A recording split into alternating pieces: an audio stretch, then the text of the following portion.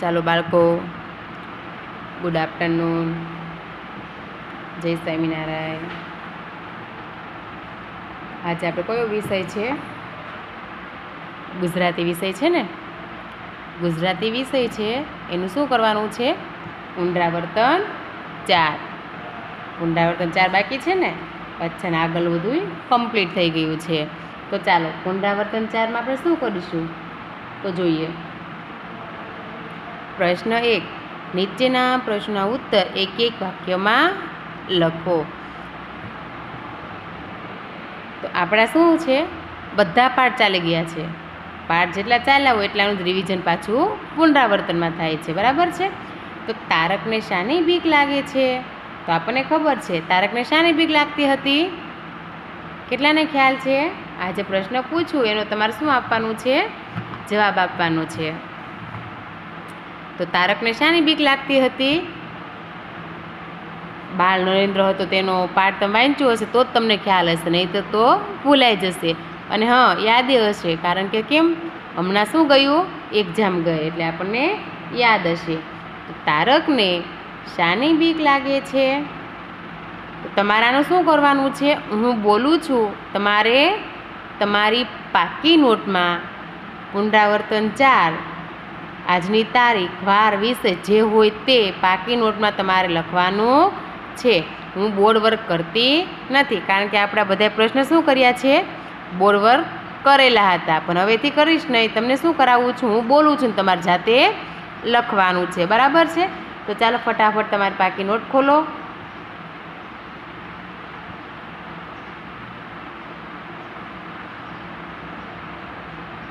ખોલી હરે કે પાકી નોટ? ચાલો. એમાં સૌ પ્રથમ પહેલાં હેડિંગ નવા પેજ ઉપર શરૂ કરવાનું છે.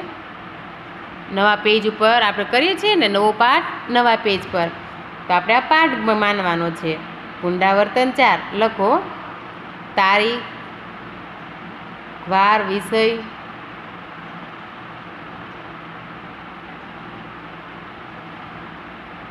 હેડિંગમાં મારું પુનરાવર્તન ચાર. ઓકે ચાલો, એનો પ્રશ્ન લખો એક. પ્રશ્ન એક, નીચેના પ્રશ્નોના ઉત્તર એક એક વાક્યમાં લખો. ફરી બોલું છું. પ્રશ્ન એક, નીચેના પ્રશ્નોના ઉત્તર એક એક વાક્યમાં લખો. તમારી સાથે પુસ્તક પણ છે, નોટ પણ છે સારા અને સરસ અક્ષરે વ્યવસ્થિત લખાવવું જોઈએ. એ જ તમારે એક્ઝામમાં વાંચવાનું છે, એટલા માટે ચેકચાક થાવી ન જોઈએ. એનો ખ્યાલ રાખવાનો છે. લટકતા અક્ષરે ખ્યાલ છે ને? ગુજરાતી વિષય છે, એટલે કેવા અક્ષર લખવાનું છે? લટકતા અક્ષર લખવાનું છે. લખાઈ ગયું હેડિંગ? હવે એનો એક નંબર, મારો પ્રશ્ન એકનો એક નંબર. તારકને શાની બીક લાગે છે? તારકને શાની બીક લાગે છે? તો એનો જવાબ લખો નીચેની લાઈનમાં તારકને લખો જવાબ. તારકને વૃક્ષ ઉપર ચડવાની બીક લાગે છે. તારકને વૃક્ષ ઉપર ચડવાની બીક લાગે છે. લખ્યું? તારકને વૃક્ષ ઉપર ચડવાની બીક લાગે છે. લખો નંબર બે. દયાળુ પંખી તળાવ પાસે શા માટે ગયું? દયાળુ પંખી તળાવ પાસે શા માટે ગયું? નંબર બે. દયાળુ પક્ષી તળાવ પાસે શા માટે ગયું? પ્રશ્નાર્થ ચિહ્ન કરજો, હો. પ્રશ્ન આવે ત્યાં પ્રશ્નાર્થ ચિહ્ન કરવાનું છે. લખો બે નંબરનો જવાબ. દયાળુ પંખી, તળાવ પાસે પાણી લેવા માટે ગયું. દયાળુ પંખી, તળાવ પાસે પાણી લેવા માટે ગયું. બે નંબરનો પાછો બોલું છું. કે દયાળુ પંખી તળાવ પાસે પાણી લેવા માટે ગયું. નંબર બે લખાઈ ગયો? ચાલો નંબર ત્રણ. તમારી શાળામાં રાષ્ટ્રધ્વજ ક્યારે ક્યારે ફરકાવવામાં આવે છે?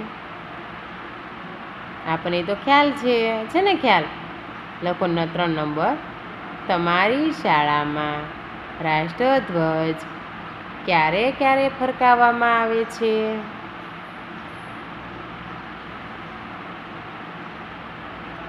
તમારી શાળામાં રાષ્ટ્રધ્વજ ક્યારે ક્યારે ફરકાવવામાં આવે છે?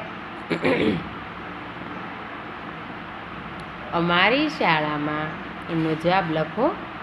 અમારી શાળામાં પંદરમી ઓગસ્ટ અને છવ્વીસમી જાન્યુઆરીએ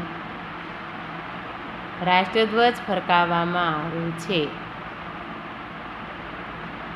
ચાલો ફરી જવાબ બોલું છું. થોડો મોટો છે એટલે નિરાતે લખજો. અમારી શાળામાં પંદરમી ઓગસ્ટ અને છવ્વીસમી જાન્યુઆરીએ ફરકાવવામાં આવે છે.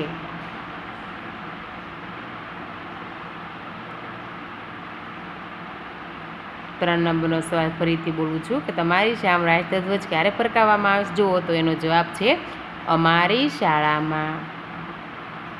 રાષ્ટ્રધ્વજ પંદરમી ઓગસ્ટે અને છવ્વીસમી જાન્યુઆરીએ ફરકાવવામાં આવે છે. જોમાં બે રીતે સવાલ લખી શકાય છે, સાંભળજો કે અમારી શાળામાં રાષ્ટ્રધ્વજ પંદરમી ઓગસ્ટ અને છવ્વીસમી જાન્યુઆરી ફરકાવવામાં આવે છે અને એમ લખો તો બી ચાલે કે અમારી શાળામાં પંદરમી ઓગસ્ટ અને છવ્વીસમી જાન્યુઆરી રાષ્ટ્રધ્વજ ફરકાવવામાં આવે છે. પણ આપણે પહેલાં લઈએ છીએ કે અમારી શાળામાં રાષ્ટ્રધ્વજ પંદરમી ઓગસ્ટ અને છવ્વીસમી જાન્યુઆરીએ ફરકાવવામાં આવે છે. ચાલો આગળ જોઈએ. નંબર ચાર. હરિ અને અર્જુનની પ્રતિમાઓ ક્યાં આવેલી છે? હરિ અને અર્જનની પ્રતિમાઓ ક્યાં આવેલી છે? કેટલાને ખ્યાલ છે? આપણે પેલું કમાટી બાગનું કીધેલું હતું. છે ખ્યાલ? ડાબી સાઈડ પર એના પૂતળા બનાવીને મૂકેલા છે. કેટલાને પાઠ યાદ આવ્યો? તો ચાલો, પ્રશ્ન ચાર લખો કે હરિ અને અર્જુનની પ્રતિમાઓ ક્યાં આવેલી છે? તો એમનો જવાબ લખો. હરિ અને અર્જુનની. હરિ અને અર્જનની. અર્જણ, હો, જોજો. હરિ અને અર્જણની પ્રતિમાઓ. પ્રતિમાઓ. વડોદરાના. વડોદરાના. વડોદરાના કમાટી બાગમાં કમાટી બાગમાં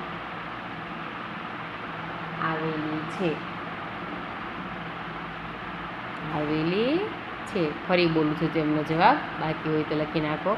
હરિ અને અર્જુનની પ્રતિમાઓ વડોદરાના કમાટી બાગમાં આવેલી છે.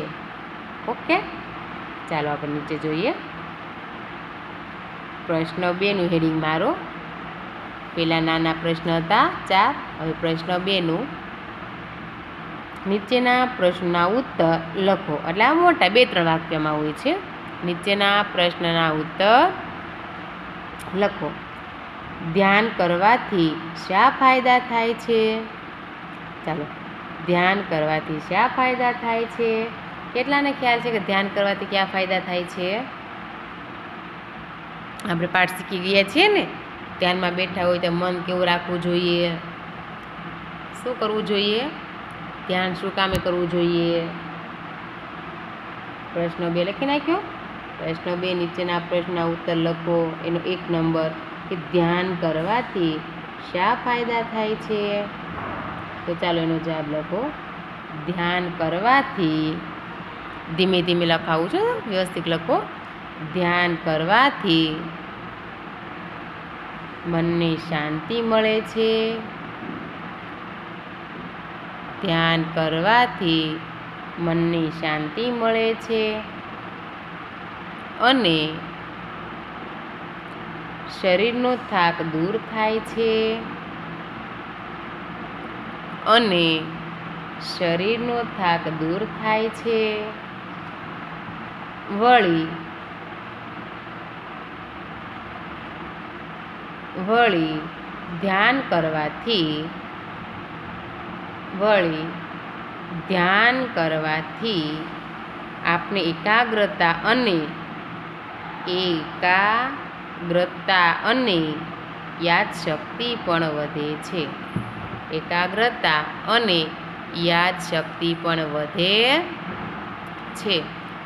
ચાલો હું ફરી જવાબ બોલું છું એમનો પ્રશ્ન બેનો, એક નંબરનો જવાબ ફરી બોલું છું કે ધ્યાન કરવાથી શા ફાયદા થાય છે? તો જુઓ એમના જવાબમાં કે ધ્યાન કરવાથી મનને શાંતિ, ધ્યાન કરવાથી મનને શાંતિ મળે છે અને શરીરનો થાક દૂર થાય છે. અને શરીરનો થાક દૂર થાય છે. વળી ધ્યાન કરવાથી આપણી એકાગ્રતા શક્તિ, એકાગ્રતા અને યાદશક્તિ પણ વધે છે.